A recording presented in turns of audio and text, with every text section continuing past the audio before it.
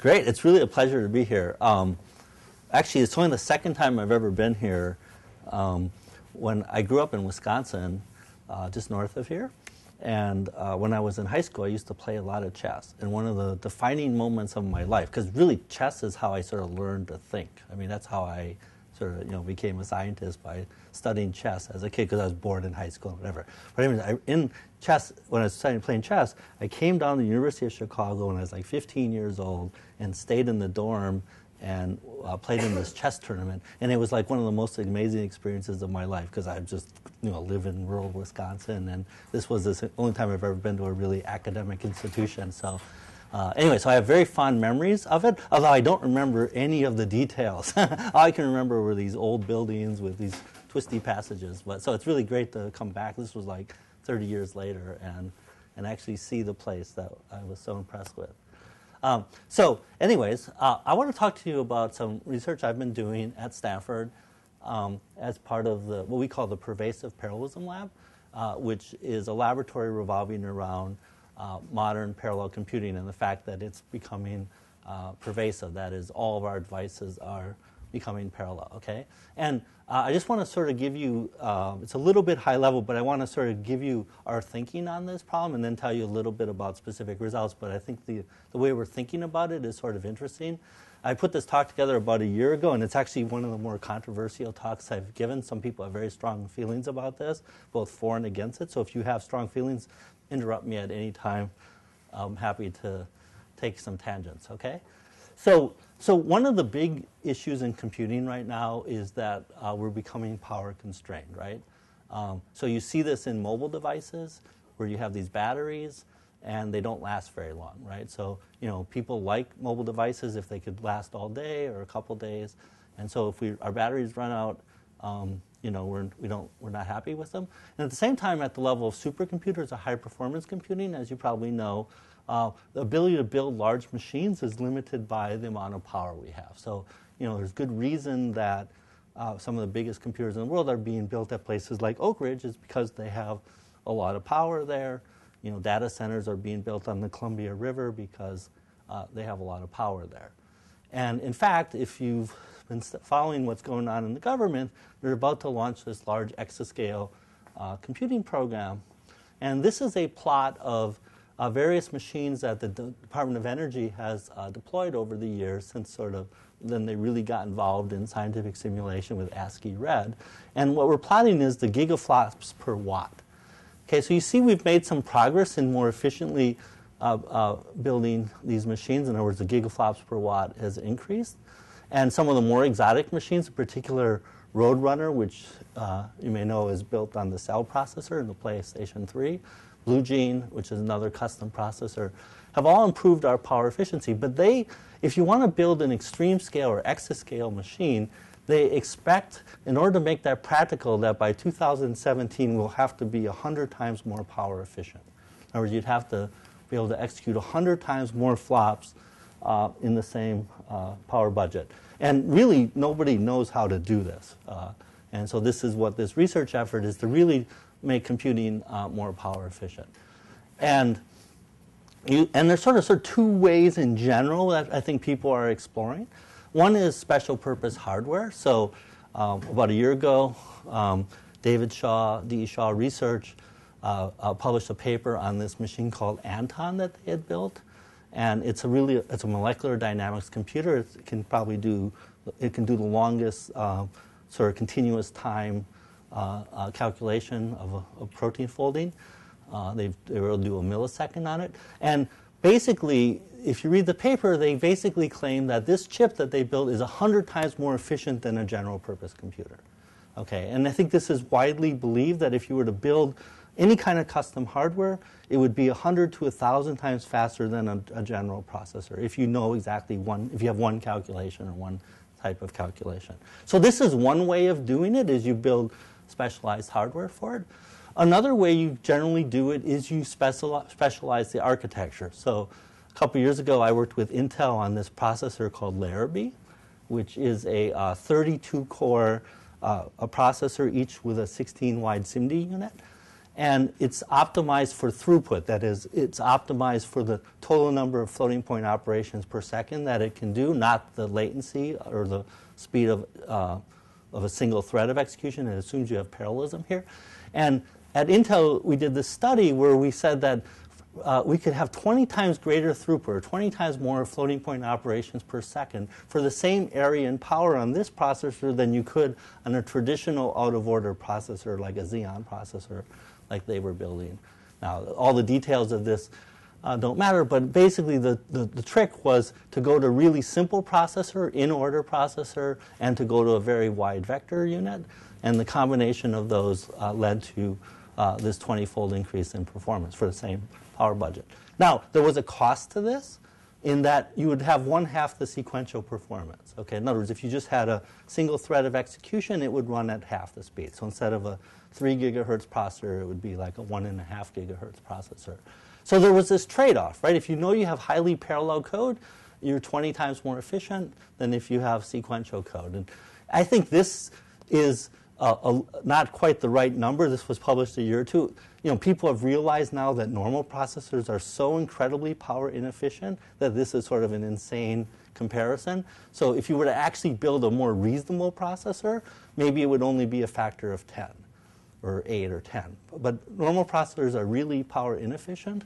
And so, uh, so maybe we shouldn't be even building those. And then, but you know, this is sort of why GPUs are such a big thing, is because GPUs are about 10 times more power efficient than a CPU right now, if you've been following this, uh, at doing floating point uh, calculations. And therefore, a lot of those new machines, like the Blue Gene, is based on, on GPUs uh, because they deliver more flops.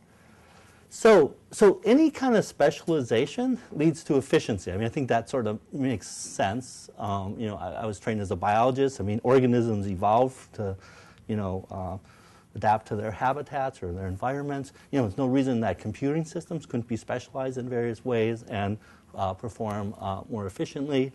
Um, but it also leads to heterogeneity. Okay, so what do I mean by that? Well, you know, if you have, so let's say you were to accept my argument that CPUs are more efficient for sequential workloads. Like if you have a single thread of execution, they will uh, execute that uh, uh, more quicker for the same power. But GPUs are more efficient for data parallel workloads. Well, let's say you have an algorithm or an application that requires both, right? Well, what you'd want to do is take, you don't want to run any inefficient code on the other processor, right? You always want to run the code that's best uh, for your processor. So the sequential code you'd run on the sequential processor, CPU, the data parallel code you'd run on the throughput processor.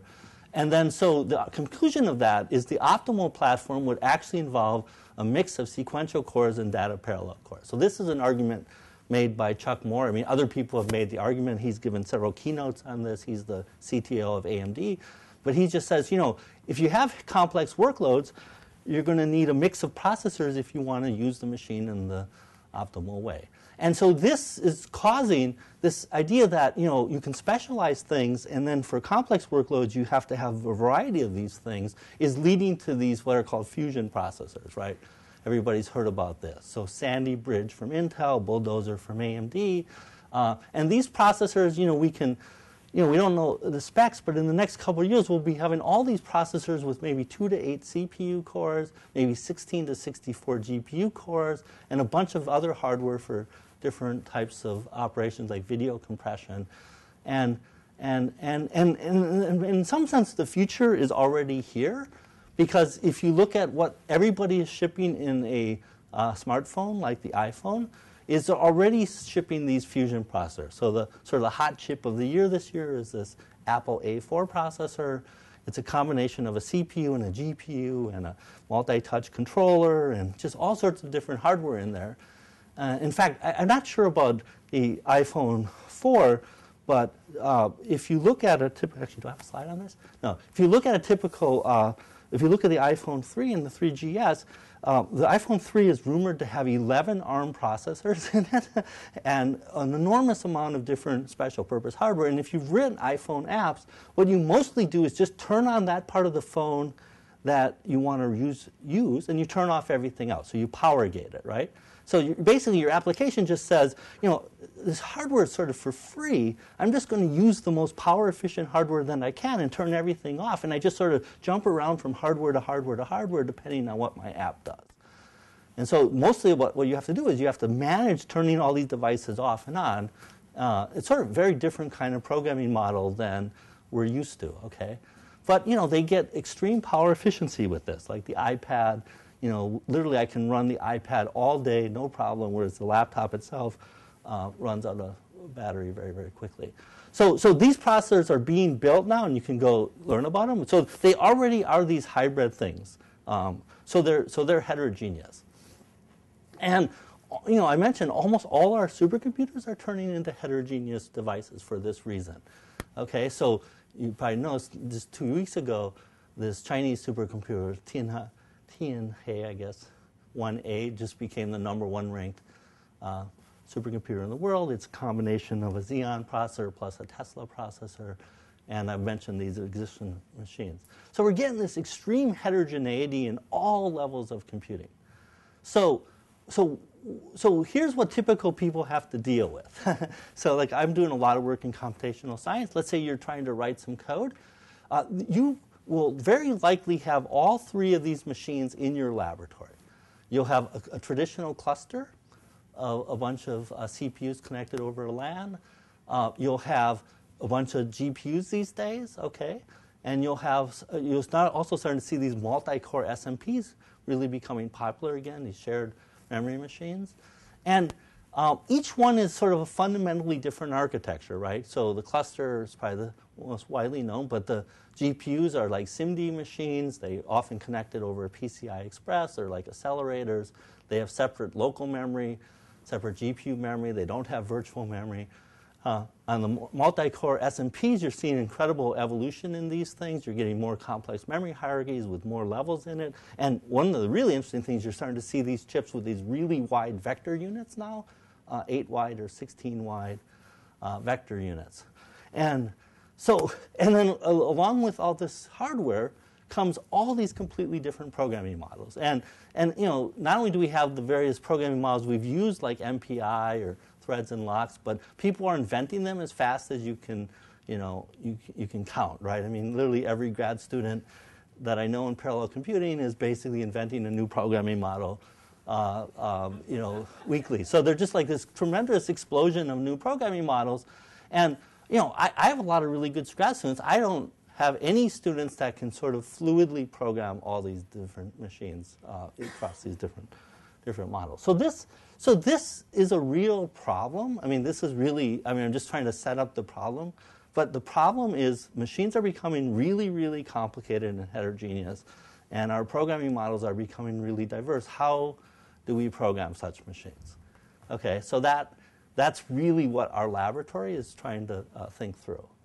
Now, there was a workshop um, on programming models recently, application programming models, and the, actually this was at Reno a couple weeks ago, and they they came up with this sort of diagram of programming models, which I sort of liked, which is you can have programming models, and there's sort of three axes that you could imagine uh, evaluating them. One is sort of productivity, like how easy it is to use. One is sort of generality or completeness, like what problems you could solve with it. And the third is performance. How fast does it run? And you'd like to have a, you know, this unicorn programming language that just is this magical thing that just solves all your problems. But in reality, you usually only get a couple of these, right? So the standard way we, we work tends to work in a language like C or C++, where you get performance. It runs pretty fast usually. And it's, we'd call this a definition of uh, general purpose, complete. And then, but now you see, especially in the web world, incredible uh, amount of uh, stuff going on in this other access where you sacrifice performance, right? It's not as nearly as fast to run Python or Ruby, but it sort of seems more productive, right? The number of lines of code is less, the IDEs and libraries are higher level. Uh, but you know, in this diagram, there's sort of this other space, right? Which is could you be sort of really productive but also really perform well? And you might give up completeness for this, right? You'd say, well, you know, I'll just, I'll just, you know, maybe I can't solve every problem with this programming. I'd be more, let's just like the machines are more specialized, I'm going to specialize the application, right? And we think that there's, this is where these domain-specific languages uh, fit, okay? In that they, they give up completeness. In other words, they're targeted for a particular domain, but they perform well and are really easy to use, okay? And so that's so this is an area that we're interested in. We're particularly interested, of course, in, in making this work portably on different uh, machines like I was talking about. So one of the challenges, of course, I should just mention is complete. It's very hard to have a general purpose model that adapts well to all those different machines because each machine is based on a fundamentally different hardware abstraction. Okay, so I mean, yeah, you know, so now you know there, are, there might be other ways of doing this, but I have seen very few systems where people have taken these really general purpose things and run them the same code. And by that I mean the same code on these very different devices. Okay, so so okay, so that's the first part. So, I mean, that's sort of what we're proposing is a way of tackling this problem. Now, you know, just I'll just say, uh, let me give you my definition of a domain-specific language or library. It just it it's something. It's a system that exploits domain knowledge to increase your productivity or efficiency. So, like a great example is MATLAB, right? It, there's knowledge about matrices built in. You can use syntax of matrix algebra. R is another example in statistics. RS very popular for doing data analysis. Uh, you know, database languages uh, SQL, MapReduce, LINQ are all uh, domain specific, higher level, short programs that do a lot. Um, I'll also claim a really good example of this is graphics, where we think of OpenGL as a domain specific language. Now, what's sort of interesting is a lot of people, when they build domain specific languages, they're sort of easy to use but really slow. right? So MATLAB is sort of a, a, sort of a classic example of this. It's, MATLAB is pretty slow, right? You know, there's all these people in the world that do this prototyping in MATLAB, and then they try to deploy it in production, and it's just way too slow. R is another example of this. Actually, been working on R lately, and R is really slow. Uh, even databases are remarkably slow. But what's interesting about graphics is graphics is really fast. okay, you know, uh, because you know it has to be fast. So, so sort of the interesting aspect of this, and where parallelism comes in, is can you make it really easy to use and run really, really fast? Okay, that's that's sort of the the, the trick here. Okay, um, so okay, so let me just mention the graphics thing because I, I just want to make one other point about domain-specific languages is that they don't have to be sort of standalone languages. They could be libraries, and I'll come back to this. But if you, if you take an OpenGL program, this is a simple example, you, you set up the camera, you translate the scene to some position, and then you draw a bunch of, say, triangles, and then you finish the frame by calling swap buffers. You can actually think of that as a language, right? You could actually write down a grammar for OpenGL where you would uh, say there's a camera and a world, and the world, you know, the camera has a perspective, and the world has a bunch of objects, and objects have transforms and geometry and whatever. So even you know, I just want to mention this point that you know a lot of libraries because they have they're stateful, right?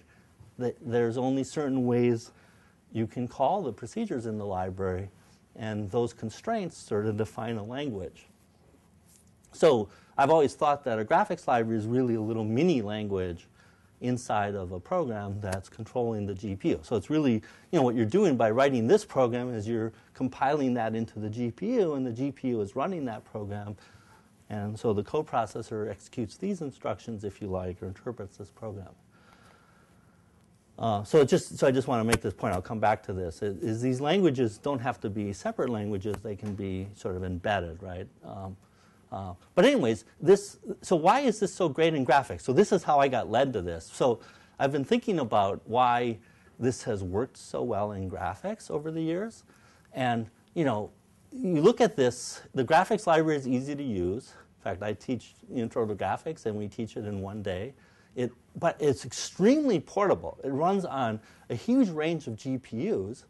Okay, uh, for example, if you've ever looked inside of a AMD GPU versus NVIDIA GPU versus a PlayStation. They're completely different machines, and it just works. It just works.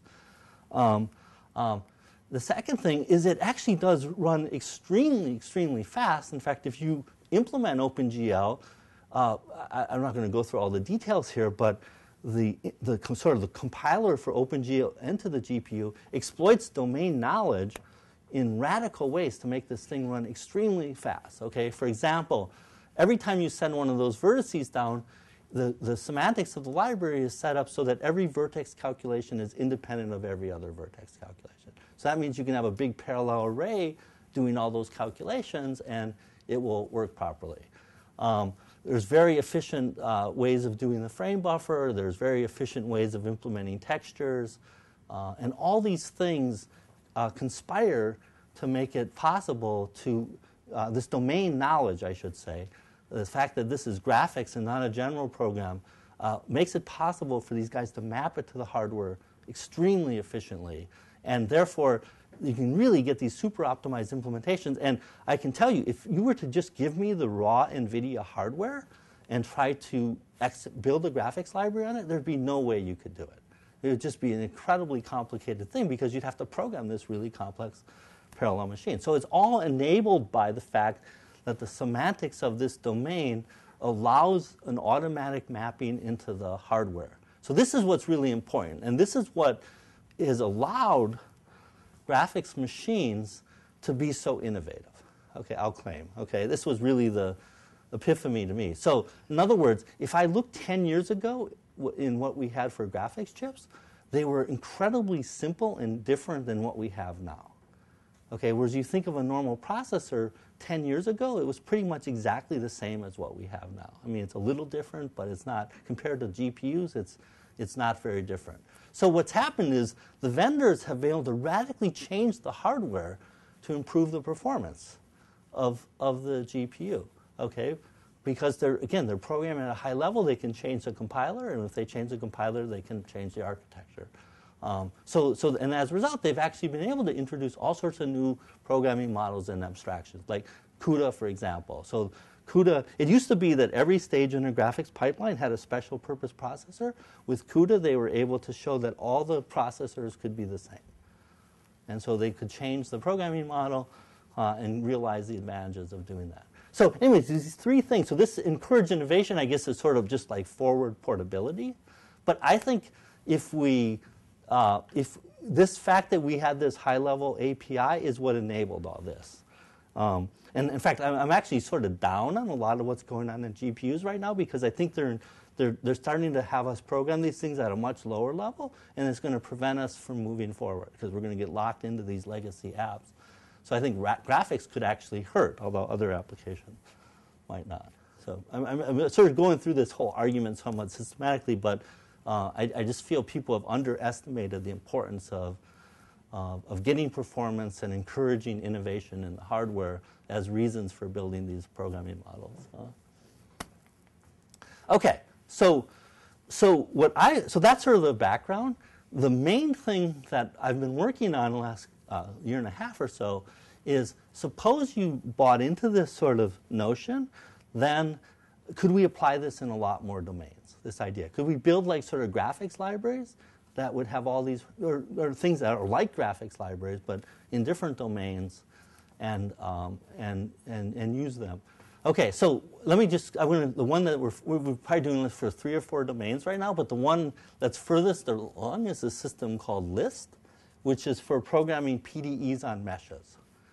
And we, we call it Liszt because it's, it's supposed to make porting to these really complicated machines really easy, just like, you know, Liszt was sort of made playing the piano really, really easy. Okay, and this is a big collaboration with a bunch of people in mechanical engineering and aerospace. So, so this is meant to be like a concrete example of how you might build a domain-specific environment that run portably across a lot of different device, devices. Um, so particularly what the problem we're working on is, you know, how to simulate a scramjet. So so a scramjet is, is, is, a, is a jet that normal jets have like turbo machinery and a combustor. A scramjet just has like a cavity, and it's flying so fast at about Mach 7 that there's enough compression just due to the speed of the airflow to cause the fuel and the air to mix and combust without any turbo machinery. So turbo machinery basically compresses the air so that it can ignite. And it turns out the problem with these, these are, these are actually quite things. They're really simple to make. Uh, uh, they perform really well. But one of the big problems with them is they just shut down randomly. so they, they get some turbulence in here. Okay, they get some turbulence in here, and, and the engine stops, and they call that unstart. Unstart. So you're flying around at like Mach, Mach 7, and you're flying at Mach 7 and your engine shuts down, that's not good.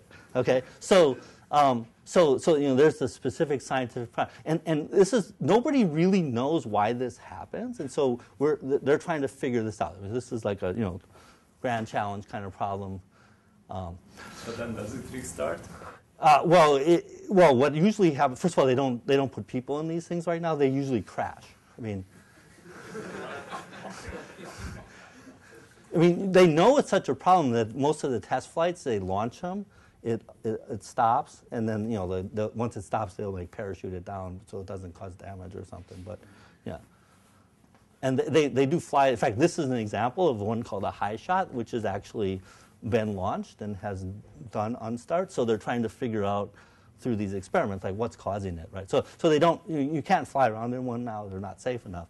And they try to prevent the damage from them. Uh, but anyway, so they have to do this big fluid flow uh, calculation in this system. So it's a very typical thing. So this multi-physics, multi-scale flow calculation. Mostly the most complicated thing is you're trying to model combustion in the presence of turbulence and shock waves. These are various experiments. You see here the shock waves, you know, propagating down the chamber.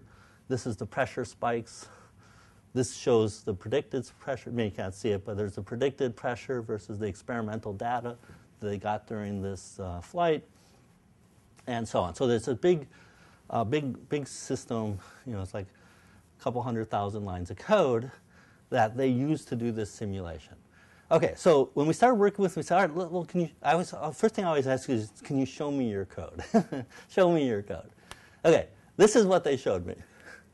Um, you know, this dense code that I guess if you were to summarize it in one word, is it was rewritten from Fortran, right? I mean,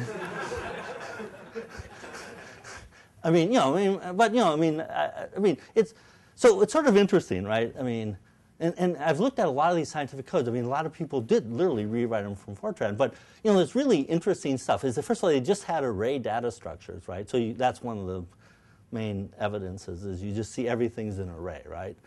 Uh, and it's sort of interesting. They store the mesh in the array, and they store what are called fields in the array. So this is a field of normals, and it has three components, x, y, and z. And they're, and they're actually computing a cross product here. And what's sort of interesting, but uh, and then they, you also see they have all these three vectors in here. What's sort of interesting is they never really thought that it might be wise to build like an object representing a vector, you know what I mean, and put it in a library. Uh, so they just inline all the calculations. So here they're subtracting two vectors. Here they're taking the cross product of two vectors. Anyways, uh, they, you know, they, they, they basically, this is very common code, I mean, that we see from this. And we spent a lot of time a couple years ago trying to get this to run on a couple machines, and we basically found that we had to completely rewrite it from scratch.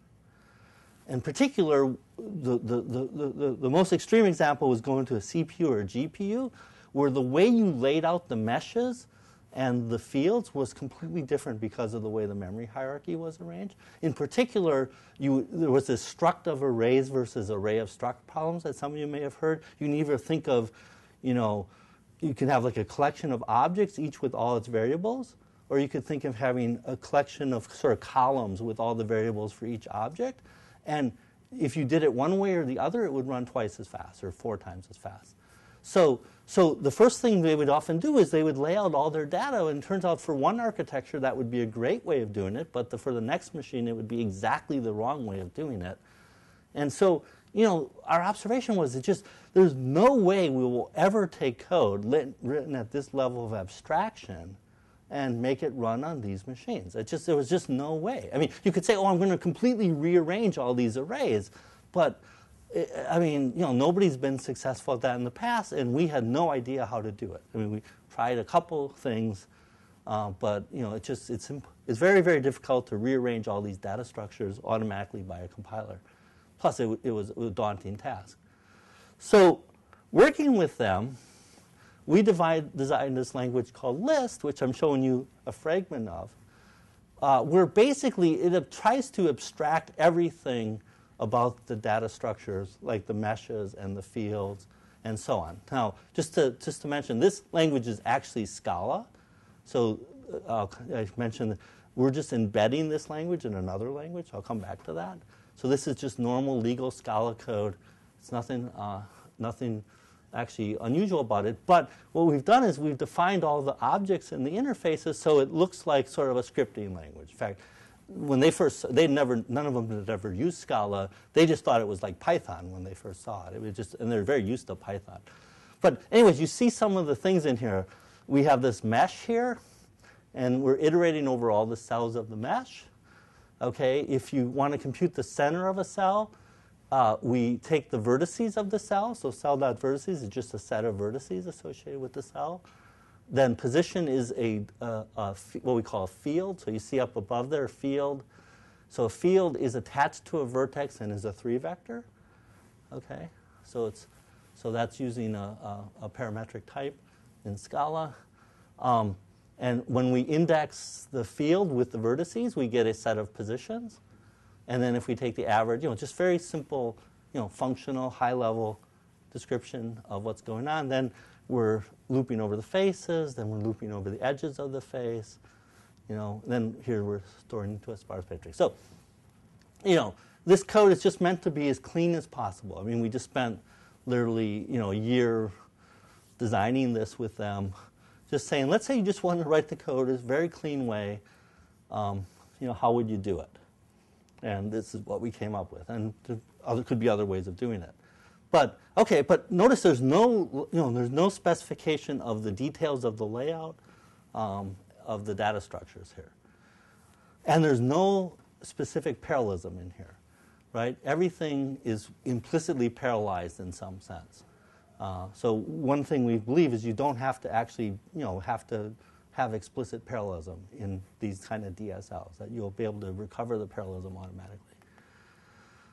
So those are the various things that's built into the language. I think I mentioned most of those. Now, the other, the, probably this, the other thing about it, which I'll just uh, is important, is there's no explicit parallelism, but it's designed to be easy to parallelize.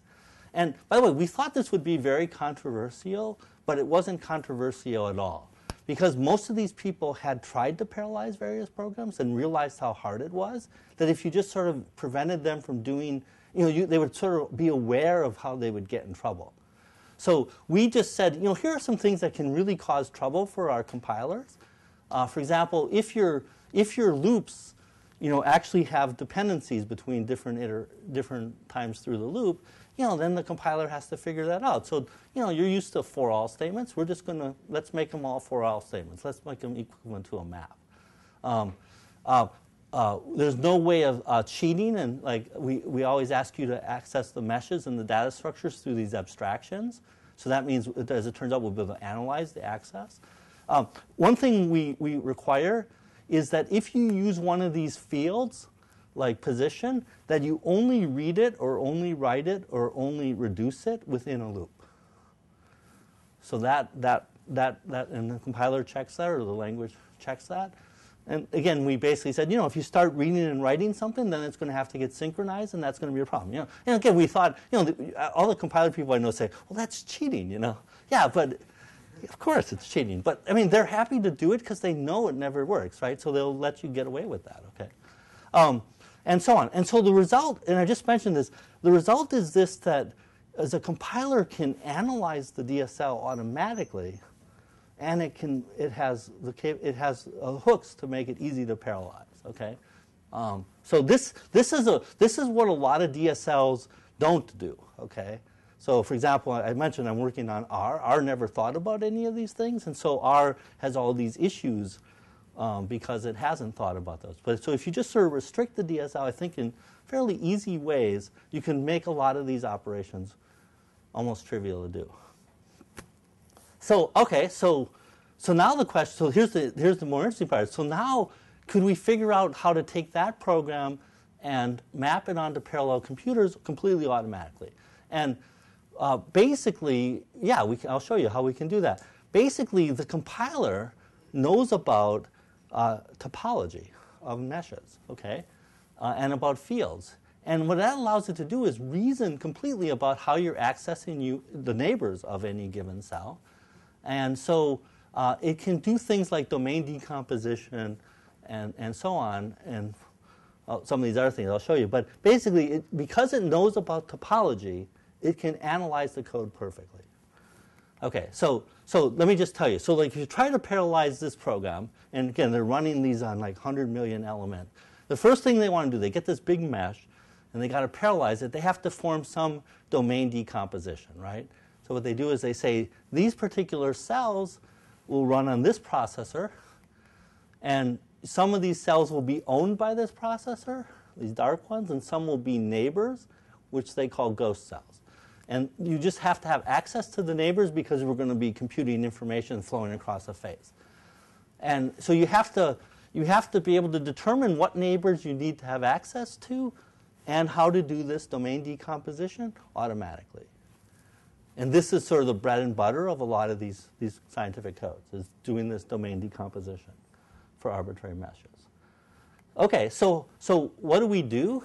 So you have some program like this, where what you do, the reason you have to access your neighbors is you're computing like flux. I mean, flux is sort of the canonical example, but you know, you have some, say, temperature on both sides of that, one temperature in one tetrahedron, another temperature in another tetrahedron, and you need to compute the energy transport across that face.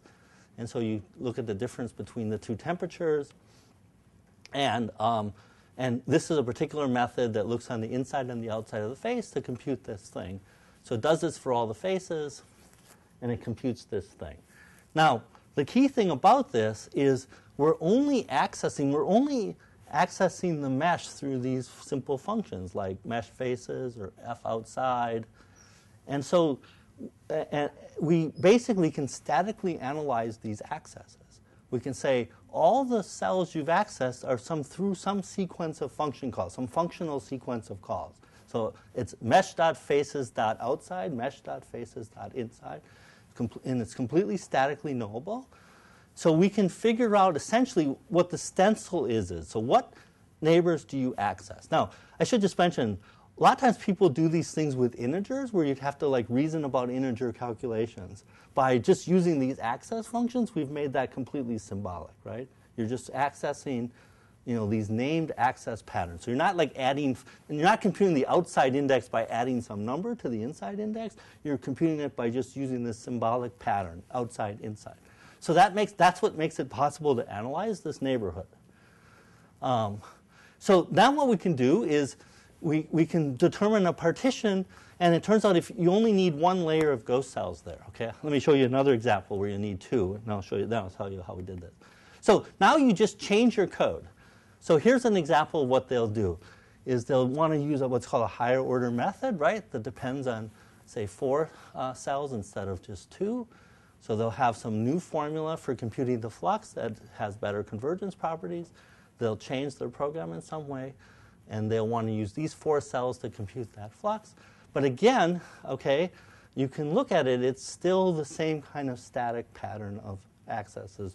So you can, you can automatically determine that. And then when you do that, since you're looking at two cells, you'll find out that you need two layers of ghost cells in order to do that. Yeah? What is that picture showing? So, oh, this shows, sorry, thanks, I hope, sorry. This just shows this mesh, or not this one, but another mesh partitioned. So what you're seeing is that I've actually divided these into two partitions, the green and the blue. And these are the cells that are, have to be shared between them so that the information is communicated across the partition.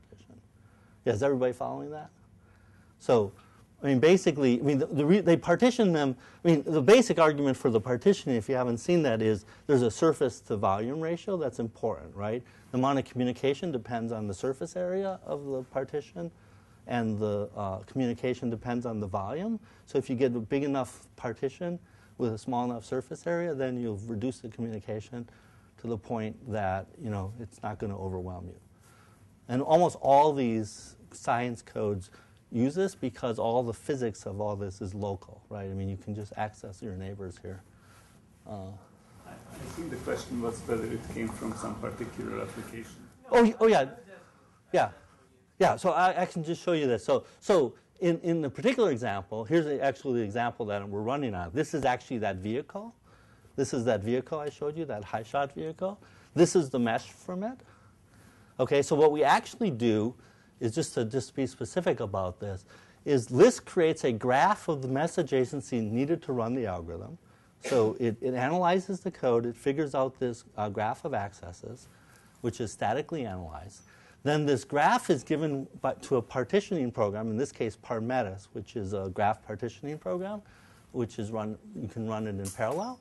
And what that program then does is color these, these, uh, these regions. Okay, so the program uh, partitions the graph into these different regions. Uh, and the idea is that each of these has about the same amount of computation. So it does a graph cut algorithm, right? Uh, very standard way to do it. And then we now know we need to communicate across these regions, but by knowing the stencil size, we now know the ghost cells. Okay? So the key thing about this is this is completely automated.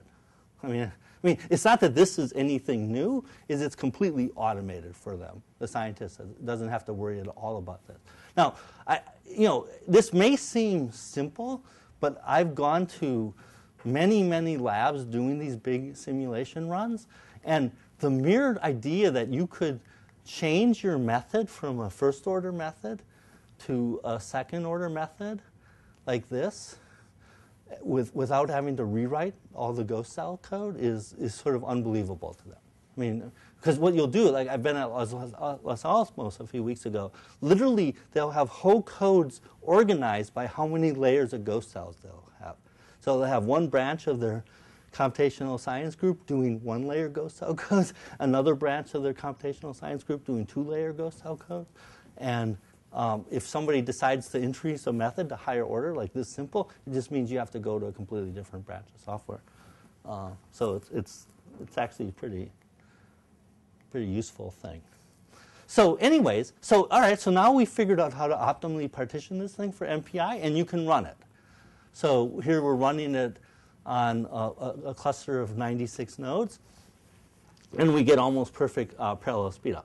Actually, and, and that, that's what the blue line, so red is, would just be ideal speed up. Blue is what we get with our program. Um, and then uh, this is actually uh, their program. it's sort of interesting. When we started this project, they said, suppose you could do a DSL and you would only lose a factor of two.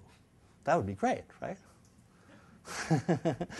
and I said, yeah, but we'll easily beat you and they didn't believe us for a minute. But I mean, the guys writing this code doesn't know. Don't they're not MPI programming experts or whatever. So it was easy to beat them. I mean, yeah. Are you using a common baseline?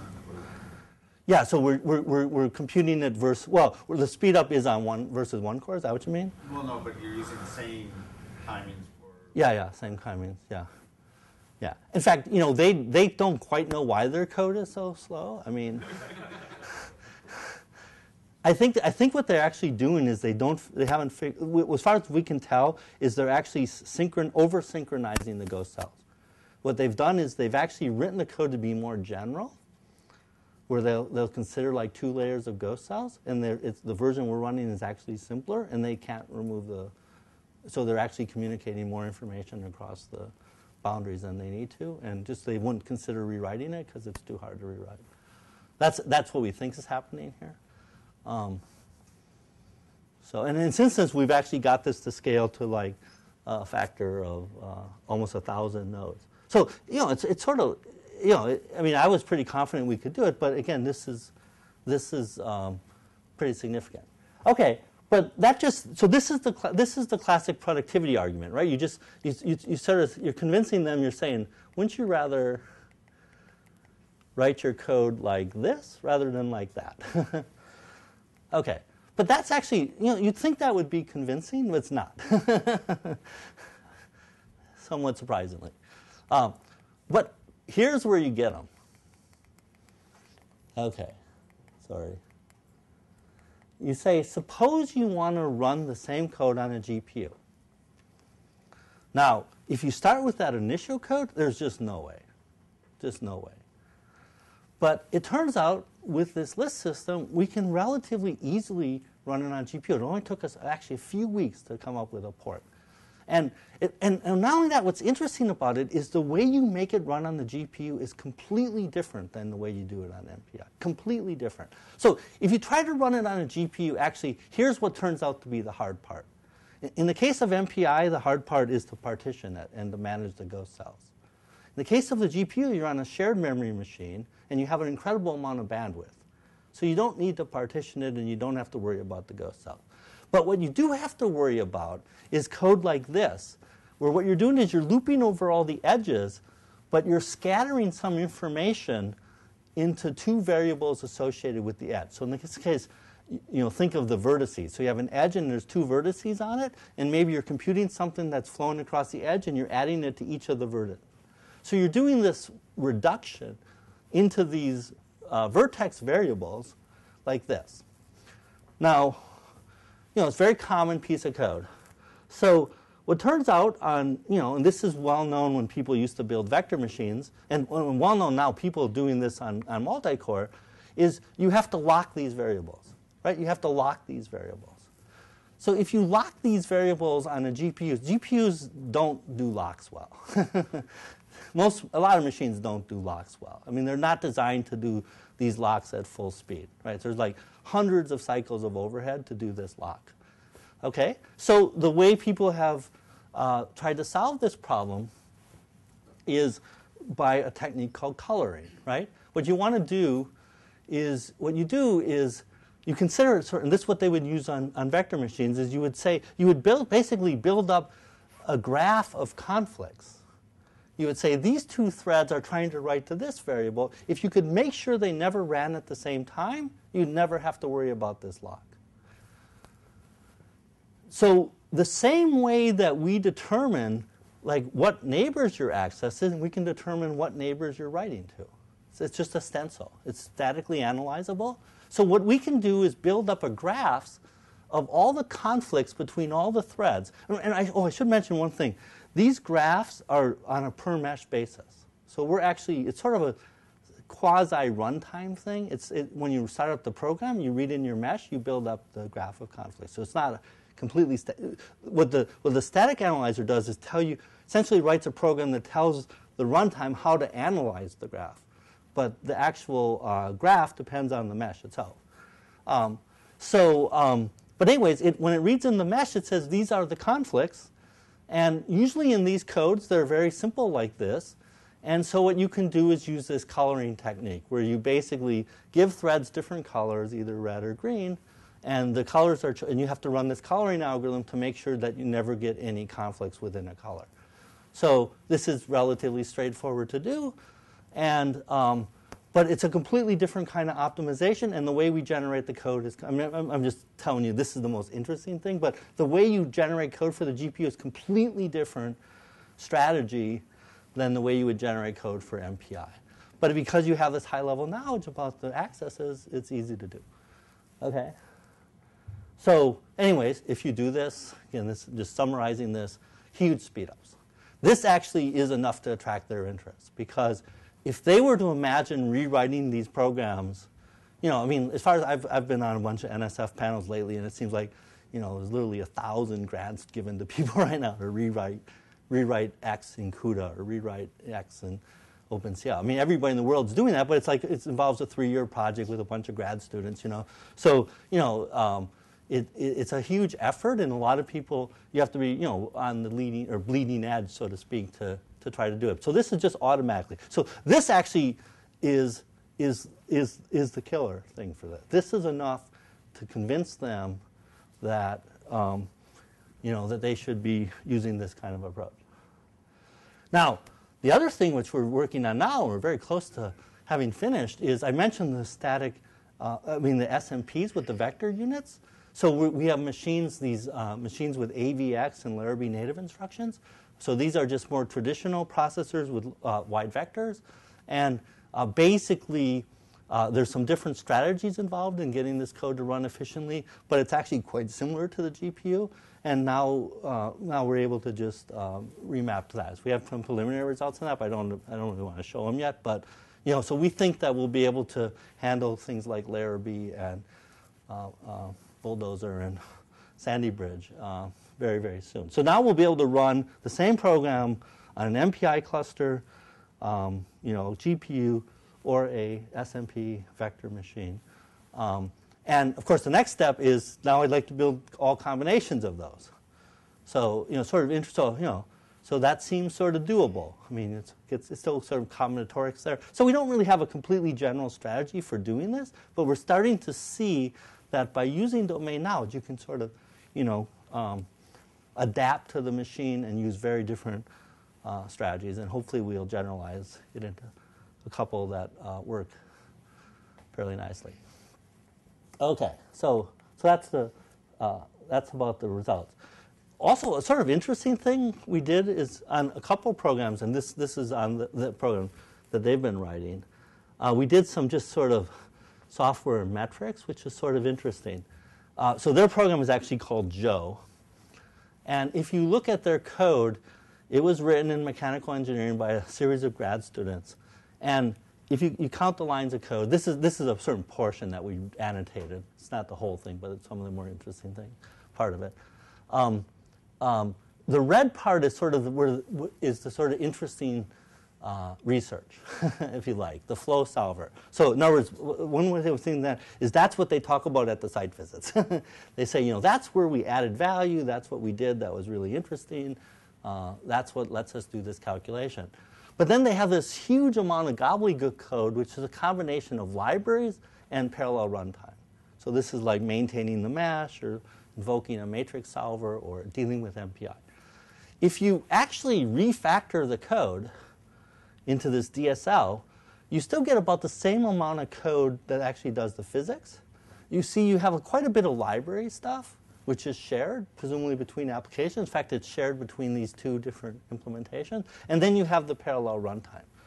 And so you sort of get, I mean, part of it is just encouraging them to use good software engineering practices, but you reduce the number of lines of code dramatically, and you factor it in a much more maintainable way.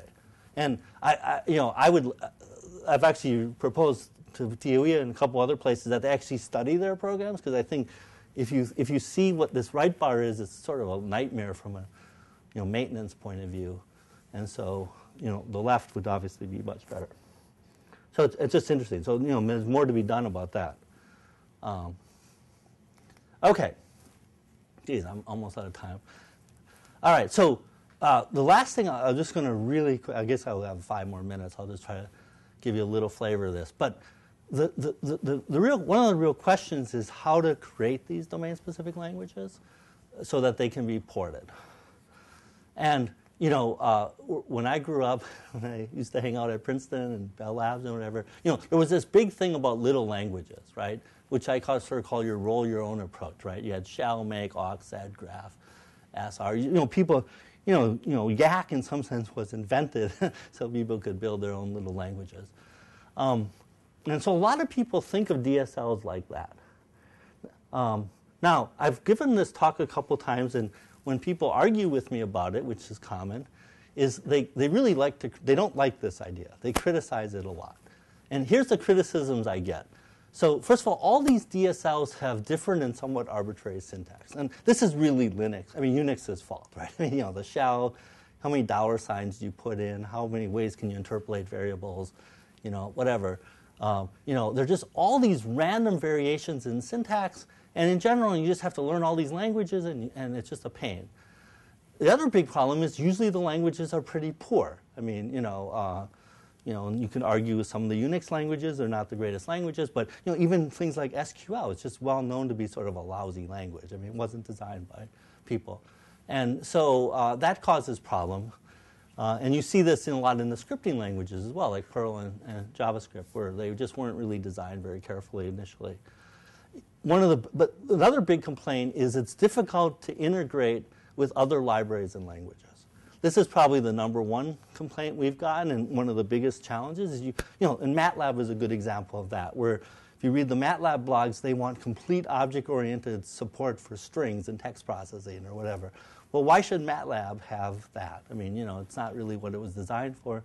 And in general, you know, there's this constant need to make these things more general. Fourth big complaint is where's the debugger, right? I mean, you know, you know, how do you do performance analysis? You know, if you build your own language, you don't you just so conveniently forget to build a debugger for it or something like that. Um, and you know, they're finding things. It's actually really expensive to build these things. I mean, to build a complete language. So, so we think. I mean, you know, a lot of people have complained about this, but I, I just want to point out, and a lot of people have been working on this problem for years. Is this really has led to this embedded DSL approach, which is what we're doing here, which is really how to make like a, how to make a library act like a language. So that, I mean, that's what we've been thinking about the way of doing this. So you embed your DSL in an existing language so that, um, so you don't have to reinvent all the infrastructure of the existing language. And I actually think that pretty much addresses uh, the first four points. Not that there aren't any issues there, but you, using your existing syntax, it's, if it's a good base language, it's well designed, it obviously lets you interoperate with other libraries because you're using the other libraries and hopefully you have a development environment. And it even addresses the last point: is you, since you're leveraging the base language, you would. Um, so, um, so, anyways, so I don't I don't have too much time, but the way we're doing this as a prototyping vehicle is we're actually using Scala, and a, and you and a lot of the you could also be do, doing this in Haskell. Think pretty easily. Those would be the probably the two easiest languages to do it in. Um, but you know, you know, the way we build DSLs is to define objects and types that define the domain, and the methods define the semantics of the domain. And if the syntax is relatively clean, it starts looking pretty nice, like a language. So here's an example, a classic example of the matrix language. Um, and here's what I mean to say that your library acts like a compiler. Is it, um, you know, or language? It has a clean syntax, but also that the compiler is very involved in doing all these things. So you have to be able to extend the compiler so that uh, you can do the analysis of the library calls. You have to generate low level code for different platforms. You have to type check all the objects. Um, and what we're doing is, based in Scala, is what's called polymorphic embedding. So what you basically do is you define all your uh, languages as operations over abstract data types. So we'll say there's some abstract matrix. Um, so you actually haven't given an implementation of the matrix, you've just given an interface to the matrix which defines the language. So you, if you wanted to write a DSL, you'd say, I'm going to write a matrix program with my matrix language.